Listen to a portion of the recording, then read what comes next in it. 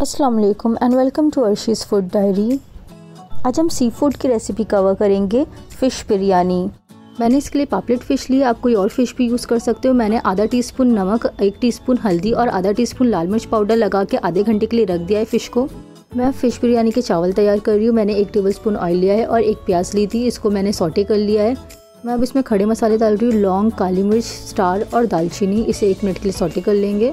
Fish biryani में पानी की जगह डाइल्यूटेड कोकोनट मिल्क यूज़ करते हैं। मैंने नारियल का पानी दो पतीले में तैयार रखा है। मैंने नारियल को मिक्सी में पीस के उसका ये दूध निकाल लिया था और वही नारियल को वापस पीस के पानी डाल के ये वाला निकाला था। ये पतला वाला नारियल का पानी हम चावल को पकाने के लिए डालेंगे।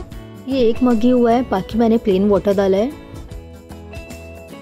स्वाद अनुसार नमक डाल दें और चावल को मैंने ऑलरेडी भिगो के रखा था तो इसमें चावल डाल दें इसको मसाला लगा के 20 मिनट हो गए, इसमें मैंने थोड़ी कड़ी पत्ता डाला है। और इसे शेलो फ्राई कर लेंगे। दोनों साइड इसके अच्छे से पकाना है, जब तक इस पर गोल्डन ब्राउन कलर नहीं आ जाता।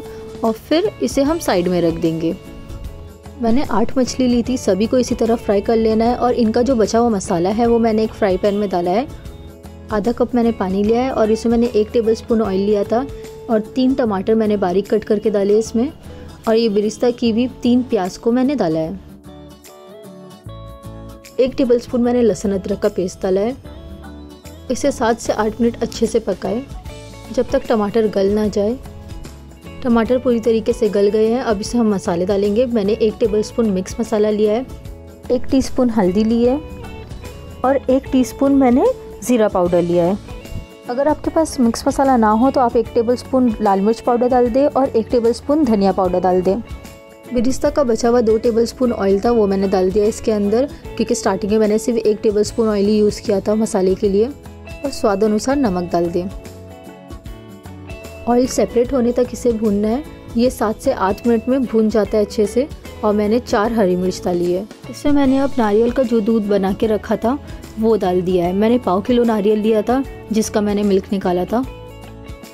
नारियल के मिल्क को इस मसाले के साथ मिक्स कर लिया। अब मैंने इसमें खड़े मसाले डाले स्टार, जावेत्री, दालचीनी, लौंग और काली मिर्च। इसे हम पाँच से छः मिनट और पकाएँगे। इसका ऑयल जब अब सेपरेट हो जाएगा तो हम फ़िश के पीस डाल देंगे और सिर्फ़ दो मिनट के लिए इसको पकाएँगे स्लो आँच पे।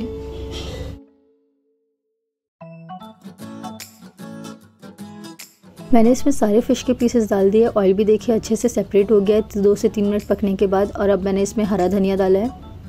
तीन से चार मिनट पकने के बाद हमारा मसाला अच्छे से थिक हो गया है। अब मैं फ्लेम बंद कर दूँगी, हमारे चावल भी रेडी हो गए, मैंने भी रिश्ता डाल दिया है और फिर फ़िश का जो मसाला है वो मैं डाल रही हूँ फ़िश के पीसीस के साथ। थोड़ा मसाला मैं फ्राइंग पैन में इधर रख दूँगी ताकि जब सर्व करूँ तो मसाला अलग से मैं दे सकूँ। फ़िश के पीसेस चावल में रखने के बाद हम इसे पाँच मिनट दम पे लगा देंगे। हमारी टेस्टी फ़िश बिरयानी तैयार है।